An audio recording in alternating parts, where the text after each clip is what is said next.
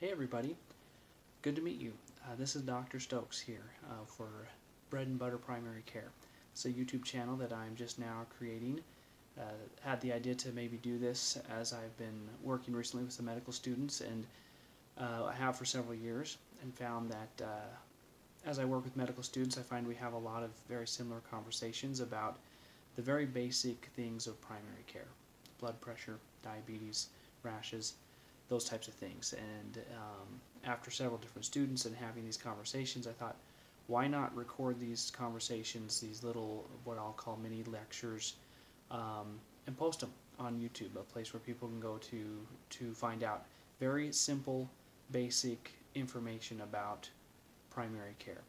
Uh, the hope for this YouTube channel is that it'll be very short videos, five to ten minutes, um, of just the very much just what you need to know to maybe get through your next clerkship, to maybe start seeing your first patients as a medical student, a PA student, or a nurse practitioner student, or maybe if you're a patient and you want to know just a little bit more about what blood pressure or diabetes is, or things like that, or things you've been told. Hopefully, eventually, there'll be a, a good plethora of videos here just covering those types of things. So, it's not my intention to have these videos go into huge amounts of details um, about things, but rather just the bread and butter, um, which is why I named the channel that, to, to just have it be the very basic, something very simple that can be hopefully useful.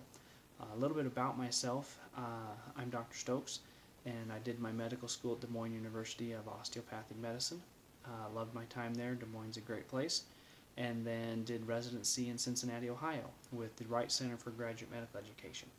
I worked there uh, at a health center in Cincinnati, the same one I did residency at for a couple years, um, both seeing patients as well as precepting the residency, and then moved to Colorado and worked for a uh, federal health center here as well. And so I've uh, all my experience in medicine has been with Medicaid, Medicare populations, and just basic primary care. And so I always tell people when they ask me what kind of doctor I am, I usually say the most boring doctor you can imagine. Uh, I don't have any specialties. I don't do anything um, out of the ordinary.